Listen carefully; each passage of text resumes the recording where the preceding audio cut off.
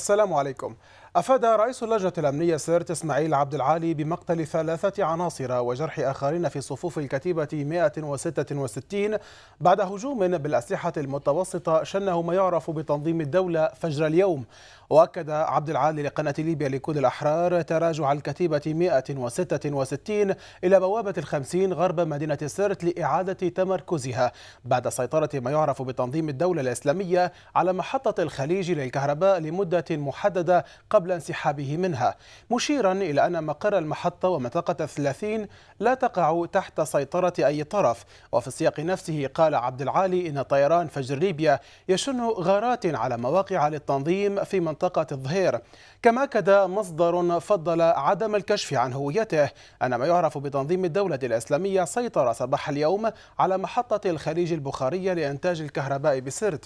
وأضاف المصدر نفسه لقناة ليبيا لكل الأحرار أن سيطرة التنظيم جاءت إثر هجوم ليلة البارحة من عدة محاور على المحطة وهو الأمر الذي أجبر الكتيبة 166 على الانسحاب مؤكدا أن المحطة خالية من الموظفين بعد توقفها عن العمل منذ استهداف ناقلة الوقود أنوار إفريقيا الشهر الماضي. وحمل المصدر السلطات مسؤولية ما يحدث ما يحدث في سيرت مشيرا إلى أن الحكومة تخلت عن دعم الكتيبة 166 بشكل مقصود حسب قوله. وقد تمكن ما يعرف بتنظيم الدولة الإسلامية من السيطرة على عدد من المناطق بمدينة سيرت ومحيطها وهي النوفلية وهراوة ومطار وقاعدة القرضابية ومقر شركة النهر الصناعي بالمدينة ومنطقة السبعة ومحطة سيرت البخارية. من جهته حمل المجلس البلدي مصراتة المؤتمر الوطني وحكومة الإنقاذ والمجالس العسكرية في أغلب المدن المسؤولية المباشرة بشأن توسع نفوذ ما يعرف بتنظيم الدولة في البلاد. واصفا تعاملهم مع ما سماه بالتطرف بالبطيء. وطالب بلدي مصراتة في بيان له المجتمع الدولي ومنظمة الأمم المتحدة والاتحاد الأوروبي ودول الجوار باتخاذ إجراءات أكثر فاعلية مع أجهزة الدولة لمساعدة الليبيين على مواجهة هذا الخطر. من جهة أخرى اعتبر بلدي مصراتة أن مشكلة ليبيا ليست مشكلة نازحين أو مشكلة المؤتمر الوطني والبرلمان أو غيرها بل الخطر الحقيقي يكمن في وجود التطرف والإرهاب. أهلا بكم مشاهدينا ونناقش هذا الخبر وأبعاده مع ضيوفنا عبر الهاتف من مصراتة رئيس اللجنة الأمنية سرت إسماعيل عبد العالي وعبر الأقمار الاصطناعية من طرابلس المحلل السياسي فتحي الفاضلي وعبر الهاتف من طرابلس المحلل العسكري محمد النعاس. أهلا بكم جميعا ضيوفنا وأبدأ معك سيد عبد العاطي. ما الجديد لديكم الآن حول الأوضاع في المنطقة؟ السلام عليكم ورحمة الله. وعليكم السلام. الشهداء الذين سقطوا اليوم أفراد من كتيبه من فلسطين بسبب اشتباك الحادث اليوم الهجوم الغادر فجر اليوم على الكتيبة. اولا لأن بصراحة الوضع هادي جدا هم الآن لم يتمركزوا في البخارية ولم يتمركزوا حتى في الوشكة كما تداولت الأخبار هم دخلوا البخارية وخرجوا منها يعني لم يبقوا فيها أكثر حتى من خمس دقائق يعني خرجوا منها أخذوا الصور وأعلنوا يعني تصريحاتهم بأنهم يعني متمركزين في البخاريه ولكنهم خرجوا منها. الآن وضع هادي جدا يعني. نعم. سيد الفاضل يعني ما تعليقك على سيطرة تنظيم الدولة على محطة الخليج البخارية لإنتاج الكهرباء بسرت؟ بسم الله الرحمن الرحيم أحييك أستاذ نور الدين وأشكر قناة الأحرار على هذه الفرصة الطيبة وأحيي مشاهديك الكرام. أعتقد أنه نصر عسكري مؤقت إعلامي لا يشكل أي خطر استراتيجي في المنطقة. لكنني لربما يعني أثني على ضيفك الكريم بضرورة الإسراع بالدعم الكتيبة 166 ومحاولة إيقاف هذا التنظيم الذي فجأة فجأة ظهر بهذه القوة مما مما يخلق ظلال من الشك حول أصله ومن يدعمه ومن يتحالف معه ربما أيضا قوة خارجية وعناصر كثيرة من النظام السابق حسب تصريح أحمد قذاف الدم من من القاهرة بأنه مع داعش إشارة إلى أعوان النظام السابق بالانضمام أو على الأقل التعاون مع تنظيم سرت آه، نقطة أخرى أخي الكريم يعني آه، أدعو أذكر أذكر أن آه، أن يكون الإرهاب يحتل المشهد السياسي في ليبيا. هذا خطر تعرضت له العراق والصومال ودول أخرى قبلنا ولم يخرجوا من هذا النفق حتى يومنا هذا. الأولوية ليست كما ذكر الأستاذ آه، أظن ضيفك الأول أو الأستاذ بشاغة وما أدري. يعني أخي الكريم آه، احتلال الإرهاب لأولويات ال- ال- ال- ال- في ليبيا الأولوية في ليبيا يشكل خطر على الوطن برمته. الأولوية الآن للم الشمل. لم شمل الثوار تحت قوة داعمة ضاربة لحماية آه، الوطن هذه هي الأولوية التي يجب أن تسبقنا وألا آه، نشغل آه، ما نعم. بقى من الثوار في هذه نعم. القضية أيضا نلاحظ أخرى أستاذ نور الدين بعد إذنك أن. هناك شبه. استنزاف للقوى الثوار نعم نعم. آه الوطية على سبيل المثال هناك درنا بنغازي الوطية الجنوب أوباري هناك في السرت آه عند العزيزية أخي الكريم القتال في كل مكان هناك عملية استنزاف مقصودة أو غير مقصودة للثوار آه ولذلك لابد من لم الشمل وتحديد أولويات الثوار نعم واضح و- سي- سيد الفاضلي لينتقل. السيد النعاس سيد نعاس يعني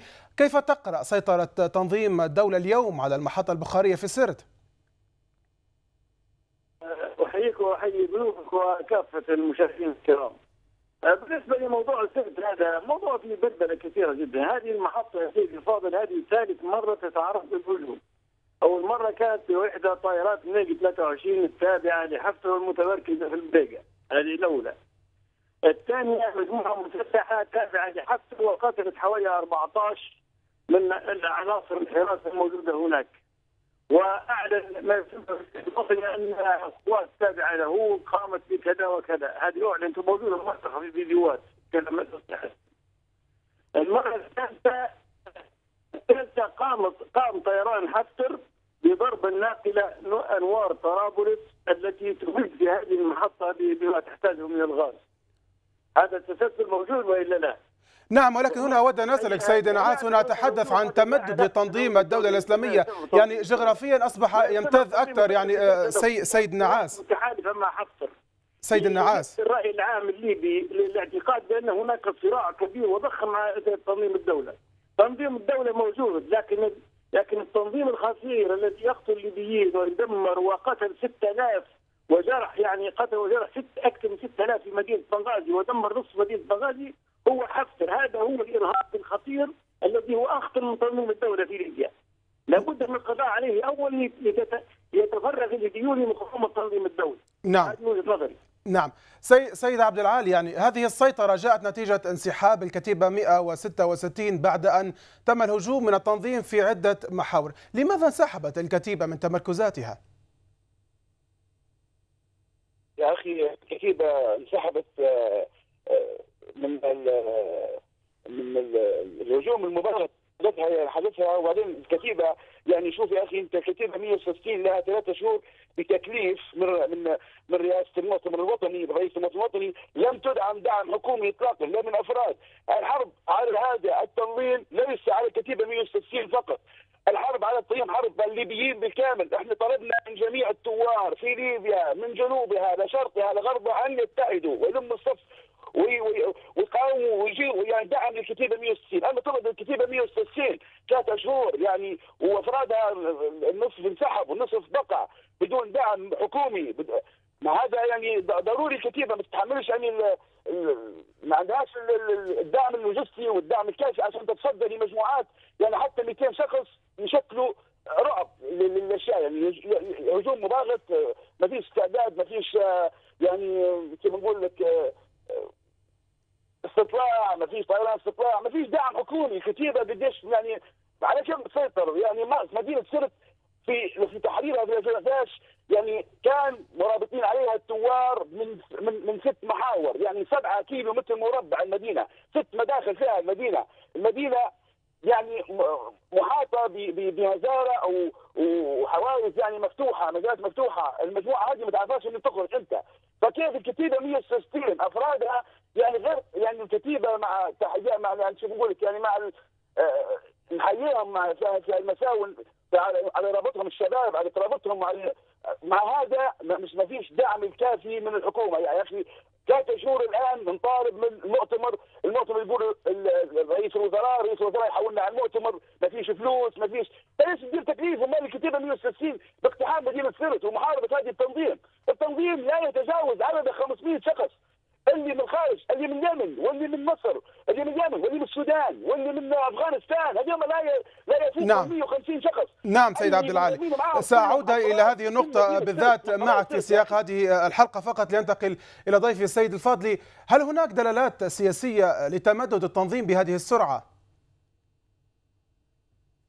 أخي الكريم أظن أن تمدد التنظيم بهذه السرعة وراه ما وراه من من تحالفات مشبوهة لها غرض آخر، لا تؤيد التنظيم أصلا، لا تؤيد الخلافة ولا تؤيد التنظيم، اختيار ليبيا أصلا للتنظيم، اختيار التنظيم لليبيا أصلا خطأ استراتيجي لن يكتب له النجاح على الإطلاق، الدول الجوار حول ليبيا جميعها ترفض التنظيم، ثم من البحر أوروبا، يعني التنظيم فاشل من الآن حتى لو حقق انتصارات إعلامية سياسية أو حقق هزه أمنية في ليبيا وما إليه، لكن هناك أطراف ربما فرنسا أيضا تستعمل هذا التنظيم لزعزعة الاستقرار لإيجاد مدخل للتدخل. وأيضا أحد ضيوفك الكرام أشار على نريد أن يدعمنا دول الجوار ونريد أن تدعمنا الاتحاد الأوروبي لتساعدنا لأن المؤتمر لم يساعدنا. هذا خطأ أيضا استراتيجي يبحث عنه تبحث عنه دول كثيرة. لكن أيضا لا يعني لا يعني أن الكتيبة 166 لا تحتاج إلى الدعم.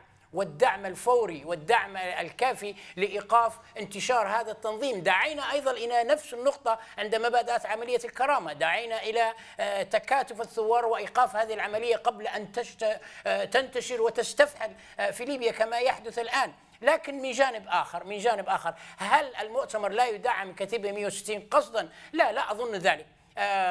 قصور خطأ وما إليه ربما لكن قصدا من المستحيل لأنها نعم. ضد مصلحة التنظيم نعم. من جانب آخر أستاذي نور الدين من جانب آخر حتى حتى لو رأيت عملية الكرامة مستنزفة قوى كثيرة من الثوار جيش القبائل مستنزف قوى أخرى من الثوار الصراع في العزيزيه الصراع في الوطية الصراع في بنغازي هؤلاء الناس شغلين الثوار في قتال نعم آخر. واضح وصلت هذه الفكرة سيد الفاضلي وصلت هذه الفكرة سيد النعاس من الناحية العسكرية يعني كيف تعلق على انسحاب الكتيبة 166 من سرت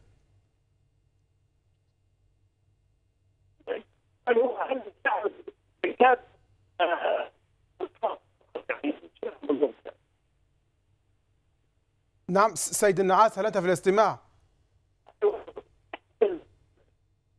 سأعود إذا للسيد محمد النعاس المحلل العسكري في سياق هذه الحلقة. ولكن أنتقل إليك سيد عبد العال. يعني إذا إذا كان المؤتمر يعني لم يقدم الدعم لماذا لم يتم دخول سرت من الأيام الأولى لتكليف المؤتمر؟ يعني ودخلت يعني الكتيبة في مفاوضات دون أن تستشير المؤتمر الوطني هنا. يعني ولم تواجه الجماعات وسمحت لهم بترتيب أنفسهم خلال هذه المدة. أخي التنظيم في المدة السابقه كان متواجد متحصن داخل المدينة، لم يخرج من المدينة عشان تتصدى له القوى الكثيره السفين، لم يخرج من المدينة، هو متحصن داخل المدينة، حتى لما تم القصف بالطيران تم قصفه في مواقعه داخل المدينة. ولكن لم يخرج عشان هي ينهي العملية، ما هو ما خرجش من سرت بكر، ما خرجش من داخل المدينة متحصن، فتحصن هو داخل الأحياء السكنية وداخل المدينة.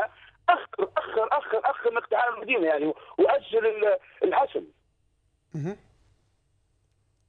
نعم يعني بأخر الحسم هو تمركز هذه القوات داخل المدن داخل المدينة عذرا داخل مدينة سرت. أكيد ولكن بنلاحظ ردنا السيد محمد النعاس لأن حفتر حفتر يدعي هو أنه يحارب الإرهاب في سرت وأنه هو يدعي أنه يحارب الإرهاب هو يقصف الكتيبة 166 في موقعها في في خزان النهر. يقصف المي الكتيبة 160 وتارك الأوكار نتاع التنظيم في المدينة لم يقصفها ولم حتى مجال الشورى جاي يقصف المدينة في الكتيبة 160 ويدعي إنه هو يقاتل في الإرهاب. صحيح؟ أي إرهاب اللي يقاتل فيه هو؟ إرهاب كتيبة 160 ولا إرهاب تنظيم الدولة؟ نعم. سيد الفاضلي أو أعود للسيد النعاس. سيد نعاس. نعم. هل تنسحب قوة من مراكزها وأمام العدو بحجة أن الحكومة لم تقدم الدعم؟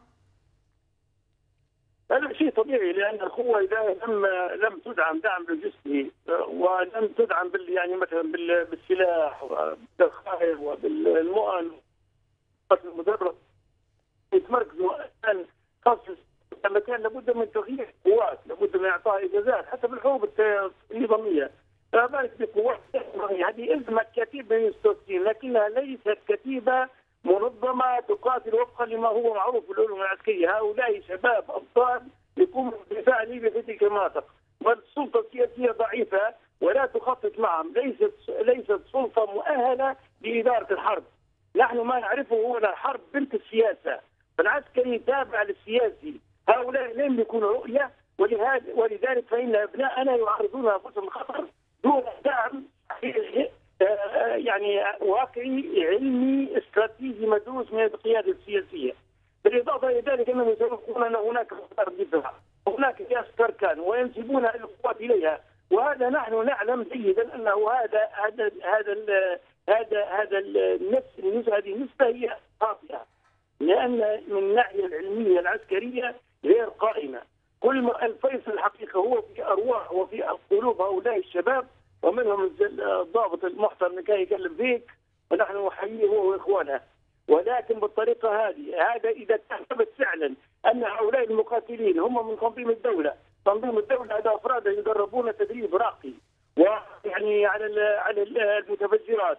وعلى استخدام العبوات العبوات الناسفة عن بعد ومباشرة وعلى العمليات الانتحاريه وعلى الاسلحه الخفيفة والمتوسطه والثقيله فانت لازم تقابلهم بقوة أكبر، لازم عندك هليكوبتر طيارات هليكوبتر اقتحامية، لازم عندك قوات خاصة مدرب لاقتحام معاقلهم، هؤلاء الشباب اللي وحدهم لا يستطيعون ذلك، هذه الحقيقة، فلا بد على السلطة السياسية أن تدرس هذا بطريقه بطريقة جادة. ولو تستعين بخارج ليبيا يعني مثلا.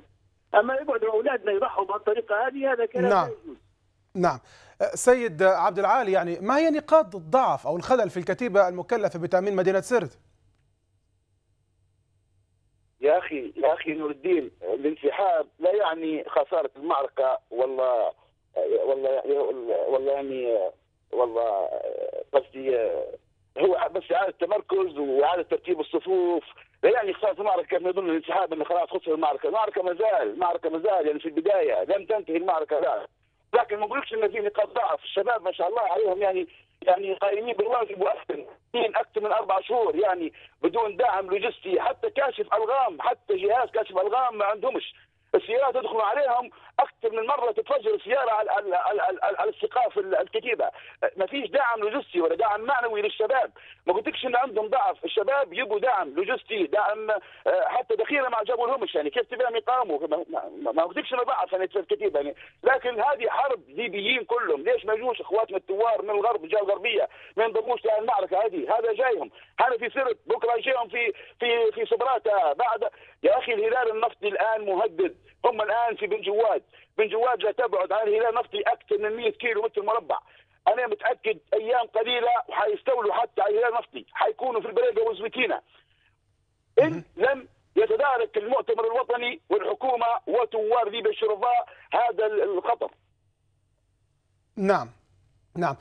سيد الفاضل يعني ما المخاطر التي قد ترافق التساهل والسماح للتنظيم بكسب مساحات كبيرة وهامة؟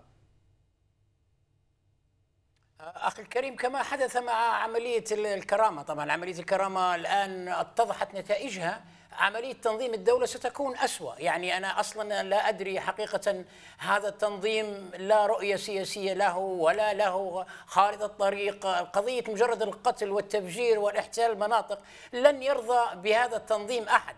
أنا لا أنا لن أتدخل في فكره وماذا يريد أن يؤصل في الوطن حكم إسلامي أو خلافه هذه قضية ليست الحوار لكن الوسيلة والأداء مؤكد ستزيد ستدخل الوطن في مستنقع أسوأ مما نحن فيه. سيدي الكريم بصرف النظر الإسلام لا ينشر بهذه الطريقة. الإسلام ينشر بالحكم الأمني السلمي الدعوة السلام الأمن الحوار الثقافة الندوة الفكر. هذا هو الإسلام. أما أن تدخل وتفجر وتحارب وتقتل دون خارطة سياسية دون رؤية مدنية وأنت محاط بالعالم كله ضدك في دولة أضف إلى كل ذلك أننا نحن دولة أصلا في صراع وفي أزمات. وفي وفي نفق نفق نكاد نحاول الخروج منه. بلد اضطهد لمدة 40 سنة وبلد الآن في الدماء والصراعات أربع سنوات. آخر ما نحتاج إليه هو تنظيم آخر يزيد المشهد آه، تشويه. مهما كانت نواياه لا يهمني ما هي نواياك ولا خلافتك ولا ارتباطك بالخلافة ولا بالإسلام. يهمني كيف كيف تفرض آرائك على الأرض. نعم. بالقتال بالاحتلال بالدم بالتفجيرات لا نريدك حقيقة ولا يريدك الشعب الليبي بأكمله. أنا أؤكد لك يا أخي الكريم اذهب وابحث عن مكان آخر. نحن شعب نحاول أن نلم شمل بعضنا البعض نحاول أن نضمد جراحات نعم نعم سيد, سيد الفاضلي وصلت وصلت هذه الفكرة. القادمة. نعم. سيد عبد العالي يعني الصور التي نشرها التنظيم تظهر أعدادا قليلة يعني من هؤلاء المقاتلين المنتمين لتنظيم الدولة وحتى غير مسلحين بأسلحة متطورة. ما هي الحلقة المفقودة التي لم يتم توضيحها حتى الآن بهذا الخصوص؟ والله يا أخي التنظيم هو غير اسم. يعني كمعناه اسم مكبرين حجمه. والله لا يملكوا عدد أفراد ولا يملكوا عتاد ولا يملكوا يعني لو أن بس يتداركوا الموضوع وينضموا آه، ويدعموا الكتيبة 160 وينضموا ثوار الأحرار الشرفاء لدعم الكتيبة 160 ويتم محاصرة المدينة. يعني والله ومتأكد لا يستغرق هذا الأمر أكثر حتى من أسبوع. لو لو لو تكاثفت الجهود وتوحد الصف. لكن آه، مش يعني انسحاب أو إن انسحاب الكتيبه نفسينا قوة في التنظيم ولا لا هم حتى التمركز في المكان لم يتمركزوا يعني دخلوا وخرجوا يعني. الآن هم داخل سرت الآن المغرب داخل سرت هم لا يخرجون من سرت المغرب تو. الآن المغرب تلقاهم داخل مدينة سرت ما يخرجوش. يخرجوا فقط في النهار لكن في الليل داخل المدينة. معنى هذا شنو معنى هذا؟ معنى عندهم ضعف هم. إذا كان إذا كان إذا كان التدارك الجهود وتوحد الصف وتمت الثوار أنا متأكد حيتم اقتحام مدينة لا تستغرق أسبوع. مع هذا التنظيم قلت لك يعني هو العدد القياديين اللي فيه لا يتجاوزون 100 شخص. بس انضموا لهم الافراد انضموا لهم هذول من داخل قبائل سرت للاسف الشديد ونوجه نداء لقبائل سرت لقبائل سرت وحكمائها وعقالها أن يسحبوا ابنائهم أن يسحبوا أبنائهم انضموا لهذا التنظيم. أنا والله أكثر من مرة. يسحبوا نداء لحكماء وقبائل سرت حكماء قبائل سرت المجيب سرت أن يسحبوا أبنائهم من هذا التنظيم. نعم. أه، أه، سيد الفاضلي أنا أود أن أسألك يعني أه، هل التنظيم يعني حاضنة في مدينة سرت هل هناك من يؤيد التنظيم داخل مدينة سرت لا شك في ذلك سيدي الكريم لا شك في ذلك. لا لا يعني الإيمان بمبادئ وقيم التنظيم وأطروحاته. لا يعني ذلك على الإطلاق لكنه يعني رد فعل لقيام ليبيا جديدة لأن هناك الصراع في ليبيا سيدي الكريم آه، واضح جدا الآن مع هذا أنه هو صراع بين مرة أخرى أعذرني للتكرار دائما أكرر هذه الجملة بين من يريد أن يبني بناء ليبيا جديدة ليبيا أمن وسلام وأمان وتبادل سلطة سلمية ودولة المؤسسات والقانون وحقوق الإنسان وبين من يريد إعادتنا إلى سيناريو النظام السابق أو جزء من النظام السابق. هؤلاء الناس الذين يريدون هؤلاء هذه الكتلة التي تريد إعادة النظام السابق يا سيدي الكريم تتشبث بكائن من كان. تنظيم داعش مجرمين الهجرة غير الشرعية. تستخدم كل ما تستطيع في عرقلة بناء الدولة الجديدة. ولذلك عودة إلى سؤالك. نعم يا أخي الكريم له له أعوان بالتأكيد المعلومات واللوجستيك والمال وإلا ما قامت له قائمة بهذه آه، السرعة. أيضا اثني آه، هؤلاء الناس يا أخي الكريم لا لا يدعمون التنظيم آه، ايمانا مرة أخرى بقيم التنظيم ولا أعتقد أن التنظيم مخدوع فيهم أيضا لكنهم بشكل الأمر الآخر هناك تناقض كبير بين قيم التنظيم وقيم أعوان النظام السابق. إحداهما يلعن الإسلام والإسلاميين والآخر يفترض أنه سيقيم الخلافة ولذلك هذا التحالف المشبوه الغريب لابد وأن هناك نعم. مصالح مشتركة ما في نعم. إيقاف آه، دولة آه، الثوار. واضح. هناك أيضا قوى واضح واضح. سيد وصلت هذه الفكرة سيد الفاضلي. سيد عبد العال يعني في نقاط ما الواجب يعني وما هي طريقة التحرك الآن لإخراج التنظيم من المنطقة؟ عندنا نعم. تدعم الكتيبة 160 من الكتايب والثوار آه، ليبيا كلها يعني من ليبيا كلها شرقها وغربها يتوحد الصف يتوحد الكلمة ودعم الكتيبة 160 وتم محاصرتها. والله يا أخي نور الدين أنا أنا لو لو لو نعود بك بمنظر صرت حين حوصرت أيام القذافي موجود فيها يعني لو كان الآن هذا المشهد موجود في سرت والله لاستغرق أكثر من ثلاثة أيام، أنا نقول الكلام هذا وأنا متأكد منه، لأني عارف شنو شنو هو التنظيم اللي موجود، شنو المجموعة اللي موجودة داخل سرت هذه، عارف شنو هي المجموعة، والله لو انك تسكر منافذ سرت وتم محاصرة سرت والله لا يستغرق الموضوع نعم. ثلاث أيام. يعني ثلاث أيام ما يستغرقش الموضوع. نعم أخي عبد أخي عبد العالي عذرا فقط ان لضيق الوقت لينتقل بسؤال ختامي مع ضيوف الآخرين. سيد عبد العالي سيد نعاس يعني عسكريا كيف يمكن التصدي لتهديد تنظيم الدولة في المنطقة؟ أم أننا يعني سنبدأ متابعة توسع التنظيم داخل مدن أخرى يعني أو مدينة بعد أخرى؟ والله يا عزيزي أنا خايف أن نكون واقعين في بلبله وتعمية الرأي العام عن حقيقة الأمر. هناك معلومات استخبارية تقول أن هناك كتيبة متواجدة في منطقة ما بين عياد وشكتوك عندها مجموعة من الآليات بالسيارات مكتوب عليها آه نفس الشعار يحمل في تنظيم الدول كالحلقة لا إله إلا الله محمد رسول الله غير ذلك والراية السوداء نعم نعم وصلت وصلت هذه الفكرة سيد نعاس عذرا فقط لأننا وصلنا إلى ختام هذه آه، الحلقة نعم. من برنامج خبر وبعد. أشكركم آه، ضيوفنا آه، في هذه الحلقة. يعني كان معنا عبر الهاتف من مصراتة رئيس اللجنة الأمنية سرت وعبر الأقمار إسماعيل عبد العالي وعبر الأقمار الاصطناعية من طرابلس المحلل السياسي فتحي الفاضلي ومن طرابلس أيضا ولكن عبر الهاتف المحلل العسكري محمد النعاس. شكرا لكم أيضا مشاهدينا على حسن المتابعة. تقبلوا تحياتي أنا نور الدين صابر دمتم في رعاية الله وحفظه. إلى اللقاء.